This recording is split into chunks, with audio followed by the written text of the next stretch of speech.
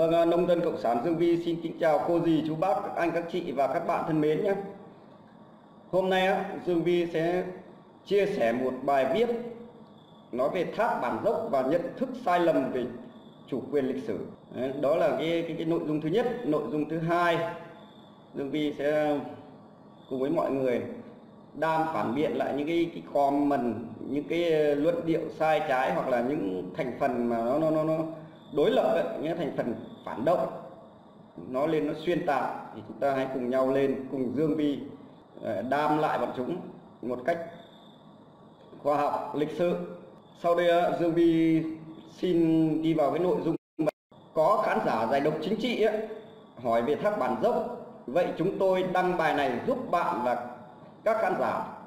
khác nó có cái nhìn nhận khách quan và hiểu thêm về cái, cái, cái vấn đề thác bản dốc và những cái nhận thức sai lầm lịch sử này. Cái tựa đề thác bản dốc và nhận thức sai lầm về chủ quyền lịch sử.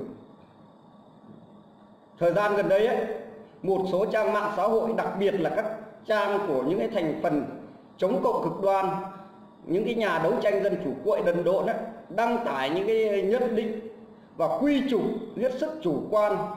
khi cho rằng Việt Nam đã bán đất cho Trung Quốc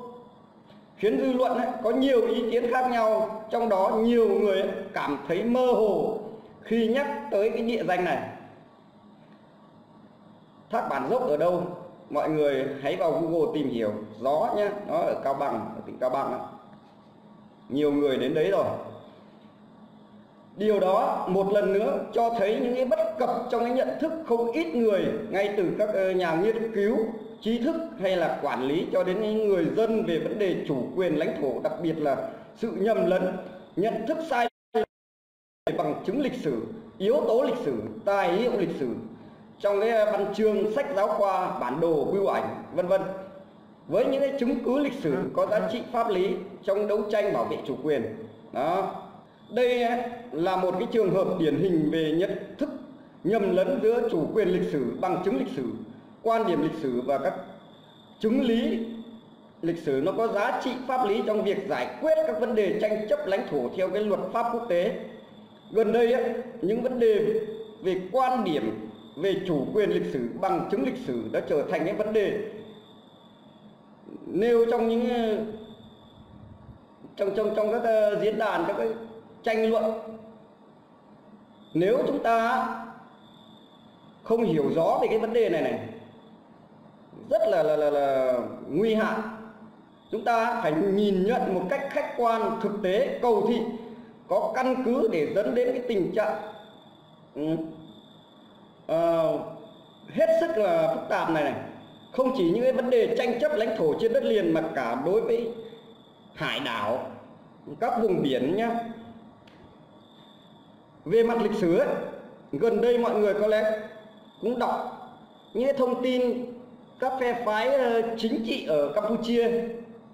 Nó sử dụng các vấn đề lãnh thổ mang tính lịch sử, không những để kích động cử tri Campuchia gây bất ổn chính trị xã hội ở đất nước này. Sau bầu cử quốc hội mà còn gây chia rẽ các quan hệ, các mối quan hệ giữa Campuchia và Việt Nam trên khu vực biên giới Tây Nam. Điển hình là những cái phát biểu sai trái của ông Sam Raisi đảng cứu nguy dân tộc của Campuchia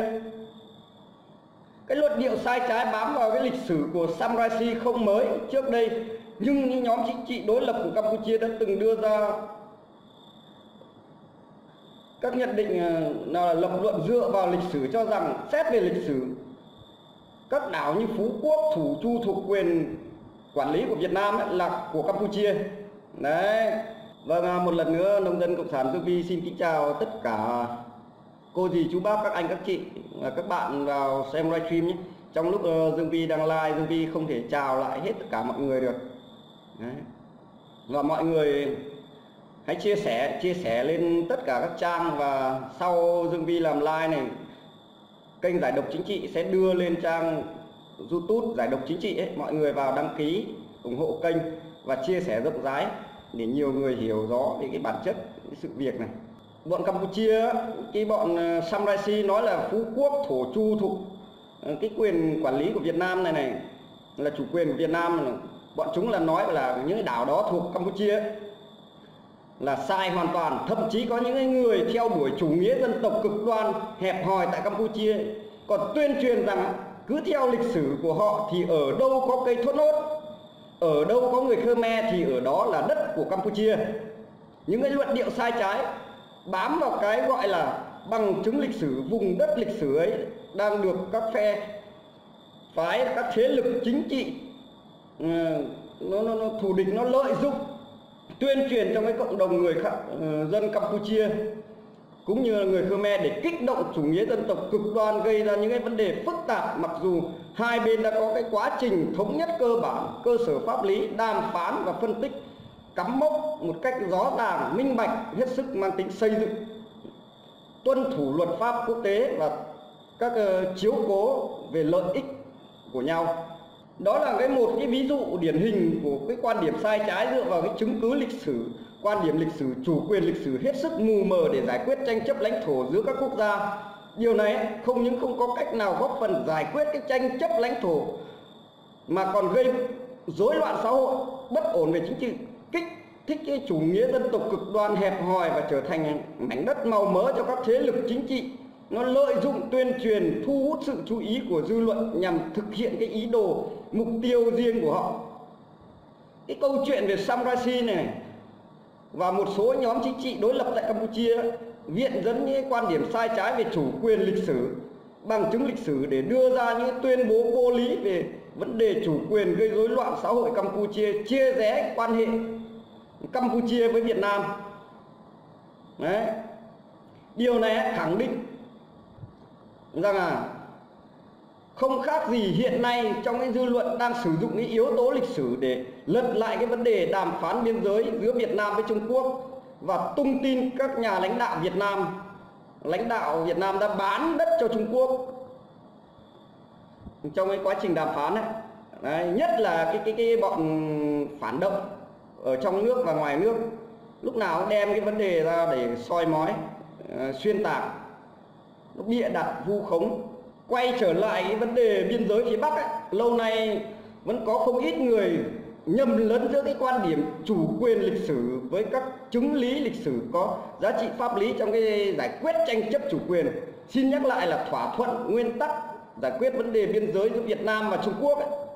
về vấn đề biên giới trên đất liền căn cứ vào cái nguyên tắc hai bên đồng ý căn cứ vào cái công ước hoạch định biên giới ký giữa Pháp và Việt ừ, Pháp và, và, và Trung Quốc ngày 26 tháng 6 năm 1887 nhá. Và cái công ước bổ sung cái công ước ừ, hoạch định biên giới ngày 20 tháng 6 năm 1895 cùng các văn kiện và bản đồ hoạch định cắm mốc kèm theo đã được công ước và cái công ước bổ sung nói trên xác nhận và quy định. Nó đối chiếu xác nhận lại toàn bộ đường biên giới trên đất liền giữa Việt Nam và Trung Quốc. Đó. đó là cái nguyên tắc cơ bản nhất mà hai bên Việt Nam và Trung Quốc thỏa thuận và dựa vào đó. Như vậy ấy, ngoài cái nội dung của công ước hoạch định này còn có các văn kiện và cái ờ, bản đồ phân giới cắm mốc kèm theo. Được cái công ước và công ước bổ nguyên tắc này tắt này đã chỉ rất rõ các loại văn bản tài liệu nào có thể sử dụng được làm cơ sở để hai bên dựa vào đó đàm phán. Xin nói thêm ấy, là cái nguyên tắc này sau khi hai bên thỏa thuận thống nhất xong đều phải đưa ra quốc hội hai nước họp và thông qua bằng nghị quyết chứ không có một cá nhân nào có thể tùy tiện nêu ra. Hai bên chính thức ký kết thỏa thuận về những cái nguyên tắc giải quyết tranh chấp trên biên giới đất liền giữa Việt Nam với Trung Quốc vào ngày 9 tháng 10 năm 1993 Đấy, về sau từ năm 1993 đến năm 1999 là bắt đầu thực hiện phân giới cắm mốc ở hầu hết các tỉnh biên giới phía Bắc giữa Việt Nam và Trung Quốc.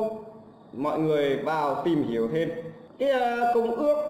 Pháp Thanh năm 1887 và công ước Pháp Thanh bổ sung năm 1895 này đấy, cùng các văn kiện bản đồ hoạch định cắm mốc kèm theo được công ước trên xác nhận và quy định mới được xem xét là có giá trị khi đưa ra đàm phán các khu vực có tranh chấp về chủ quyền. Tất cả các tài liệu chứng cứ lịch sử như bản đồ, thư tịch, sách giáo khoa, biêu ảnh, những cái ghi chép cá nhân nằm ngoài cái phạm vi của hai cái bản công ước trên đều không được chấp nhận kể cả là ta hay bên Trung Quốc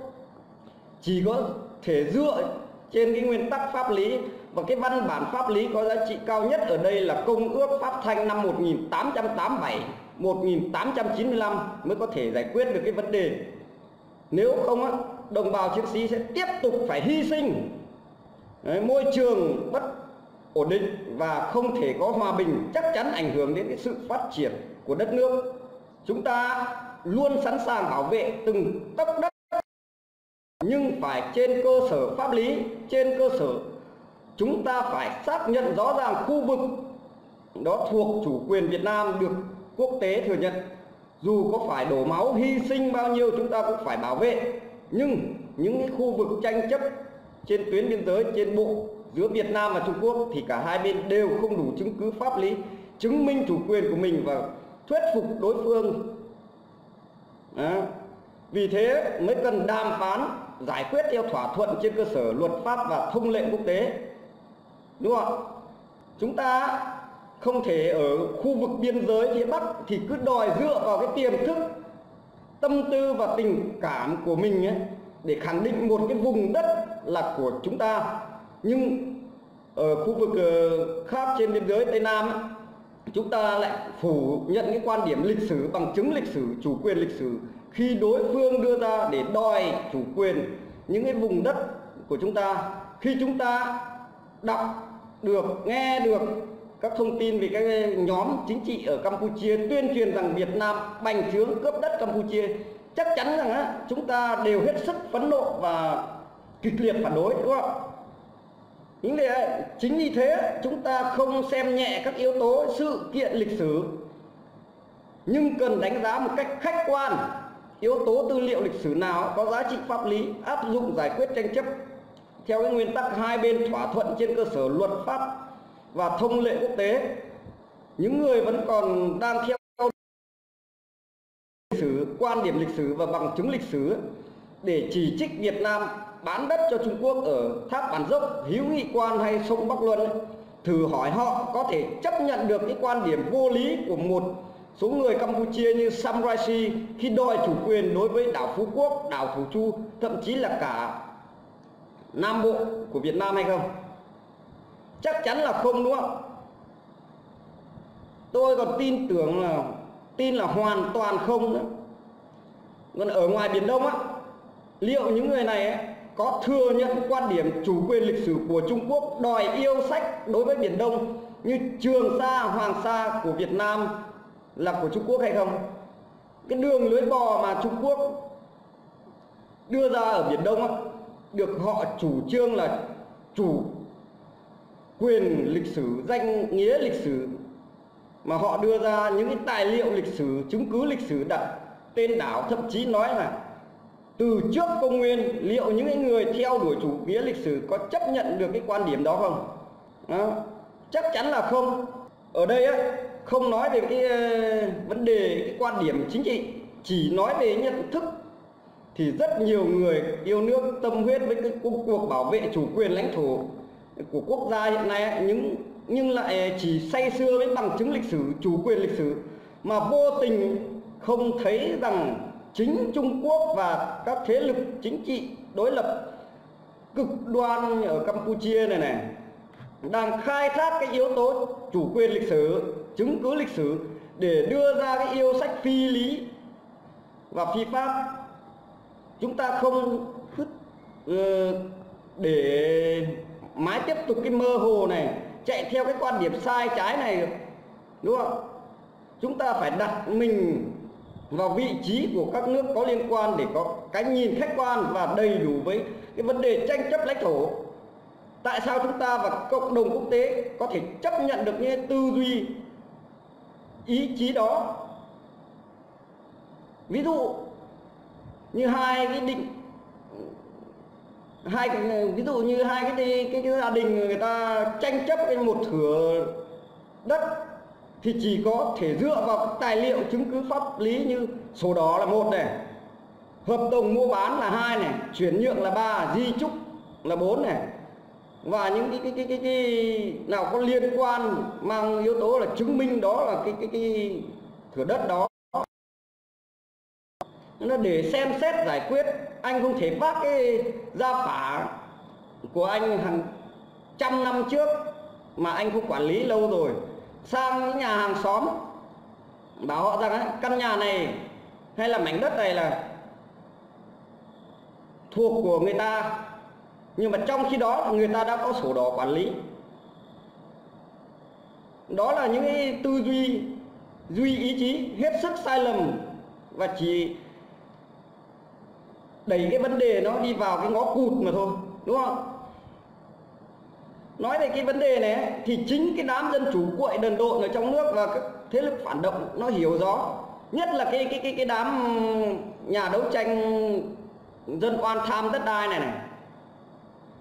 Tôi thấy nhiều địa phương, nhiều gia đình, làm sao? Bảo là chính quyền giải tỏa đất đai ờ, đập phá nhà cửa của họ. Chính là những cái hộ đấy lạm dụng sự sơ hở quản lý đất đai của nhà nước. Tự nhiên các đi phát, nương trồng giấy làm nhà ở đấy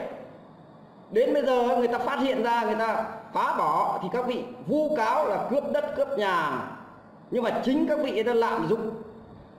cái tài nguyên công quý, đất của quốc gia, của địa phương trong lúc người ta buông lỏng quản lý. Cái đấy là cái vi phạm pháp luật. Vì vậy á, chúng ta phải hiểu một cách hết sức rõ ràng, công khai và song phẳng về những cái điều này. Còn đương nhiên công ước phát thành cơ sở pháp lý mà chúng ta đã ký kết thỏa thuận với Trung Quốc, nói về cái vấn đề đất liền ở các tỉnh biên giới phía Bắc với Trung Quốc ấy. Cái thỏa thuận với Trung Quốc ờ, ra đời cách thời điểm hai bên ngồi đàm phán với nhau cả trăm năm thì việc mô tả thể hiện cái thể hiện ở trên bản đồ ấy, do rào cản kỹ thuật cũng như cái điều kiện địa hình địa mạo một số khu vực có thể sai khác mới dẫn đến cái tranh chấp và nhận thức khác nhau. Điều này hết sức bình thường đúng không hai bên ấy, mới phải ngồi vào đàm phán. Nếu đã có một cái đường biên giới hoàn chỉnh và rõ ràng thì cần gì phải đàm phán nữa? Và cũng chẳng có cái chuyện tranh chấp rằng co nhau dẫn đến đổ máu do đó chúng ta phải nghiên cứu cách tiếp cận cái vấn đề tránh những cái hiểu lầm trong cái nội bộ chúng ta cũng như tránh những cái hệ lụy nguy hiểm. Chỉ vì thiếu cái thông tin hoặc những cái nhận định sai lầm về chủ quyền lịch sử câu chuyện về tháp bản dốc hữu nghị quan hay sông bắc luân là cái, những cái câu chuyện của ngày hôm qua. Nhưng nó sẽ ảnh hưởng trực tiếp đến ngày hôm nay và ngày mai khi trên biển Đông thì Trung Quốc đòi yêu sách chủ quyền lịch sử. Ở biên giới Tây Nam ấy, các thế lực chính trị cực đoan của Campuchia sử dụng dùng ờ, chủ quyền lịch sử âm mưu phá vỡ sự ổn định đường biên giới đã được chính thức đàm phán ký kết và phân giới cắm mốc. Còn bám vào cái quan điểm chủ quyền lịch sử là vô tình trúng bẫy của Trung Quốc cũng như Samurai Raisi nha. Mọi người nên hiểu rõ cái điều đấy là như vậy. Chúng ta nghiên cứu lịch sử để hiểu công lao dựng nước giữ nước của các thế hệ tiền nhân. Nhưng về mặt tranh chấp lãnh thổ ấy, thì chúng ta phải hết sức lưu ý giá trị pháp lý của các chứng cứ lịch sử tài liệu lịch sử ở mức độ nào chứng không phải là tất cả các yếu tố lịch sử có thể đem ra khẳng định yêu sách chủ quyền Đấy, không ai chấp nhận điều đó trên bình diện pháp luật quốc tế Thác Bản Dốc là một trong bốn khu vực C trọng điểm tồn tại trong quá trình Việt Nam và Trung Quốc đàm phán biên giới trên bộ. Căn cứ vào cái công ước phát thanh năm 1887 và 1895 và các bản đồ ấy, các văn kiện kèm theo thì cái đường biên giới khu qua cái khu vực thác bản dốc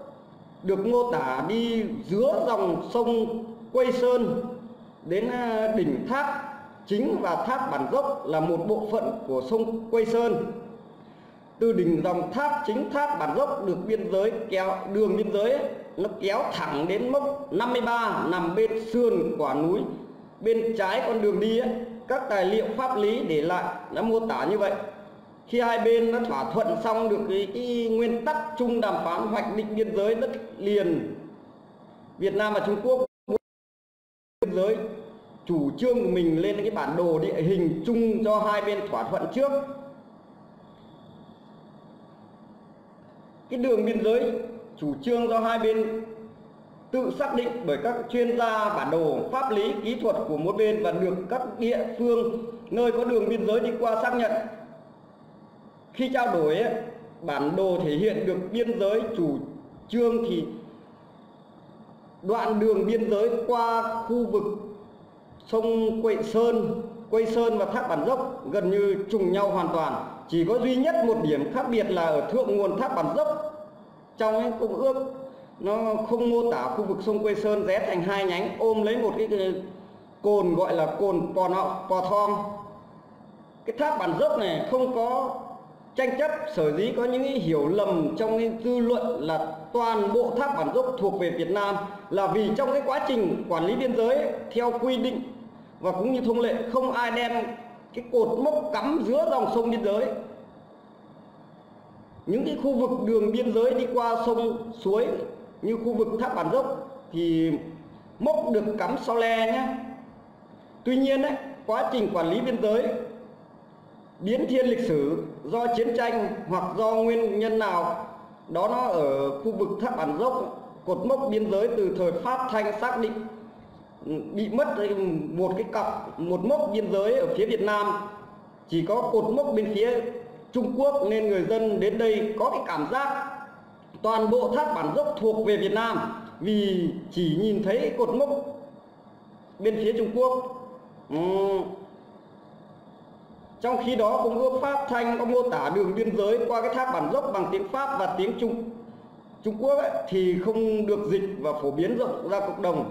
Nên cái sự nghi ngờ mơ hồ của dư luận về cái khu vực này có thể hiểu được. Hiện nay ấy, rõ ràng nhiều người vẫn còn chưa hiểu rõ về vấn đề thác bản dốc. Và điều đáng nói là không chỉ người dân mà ngay cả những người làm công tác nghiên cứu và quản lý cảm thấy còn mơ hồ đúng không ạ? Ờ lan anh anh cảm ơn. Lát ba sọc vào, anh sẽ chơi bọn nó. Giờ anh xong bài đó còn ờ, một số người ấy còn cố tình, có thể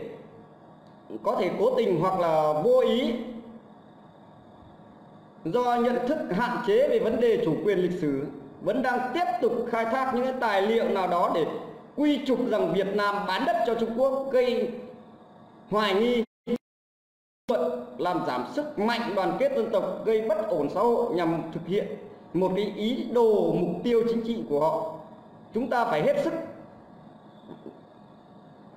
cảnh giác trước những cái âm mưu này. Chúng ta phải hiểu rõ, không những hiểu rõ mà phải hiểu rất rõ về vấn đề này ấy. Nếu không sẽ rơi vào cái trạng thái mơ hồ, hoang mang, lúng túng và bị động. Đấy đặc biệt là những đam chấu của bọn ba sọc phản động này nói là Việt Nam bán đất cho Trung Quốc Tháp bản dốc Trung Quốc cướp lấy rồi. Đấy, đúng rồi Lan Anh, ba sọc. Chỉ có làm tay sai cho bố méo thôi. Số bậy số bạ không thôi. Đó là toàn bộ cái nội dung bài viết. Dương Vi cũng thay mặt các anh chị em ở bên kênh giải độc chính trị, nó có một cái quá trình một cái thời gian tìm hiểu rất là lâu. Đấy, thu thập rất là nhiều cái tài liệu chứng cứ pháp lý và những cái vấn đề liên quan đến cả biên giới Tây Nam biển đảo và kể cả về cái bọn Samurai phe đối lập cùng với cái bọn dân chủ cuội ở trong nước nói về vấn đề lịch sử này nhằm âm mưu chia rẽ cái khối đại đoàn kết dân tộc nhằm làm hạ làm mất cái uy tín của đảng nhà nước trong cái quá trình đàm phán biên giới ở khu vực biên giới phía bắc cũng như tây nam đặc biệt là trong cái giai đoạn hiện nay là trên biển đảo. Nào mấy em ba sọc có ý kiến gì nhảy lên nào. Hôm nay rất là nhiều anh chị em vào ủng hộ dương vi. Nên là dương vi cảm thấy rất là, là, là, là tự tin trong cái quá trình phản đam bọn chúng.